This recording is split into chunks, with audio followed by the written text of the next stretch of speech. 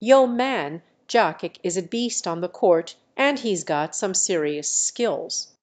I wouldn't say he's the best player in the NBA though. There are a lot of other dudes out there who are killing it too. But yeah, Jokic is definitely a top player and he's always fun to watch.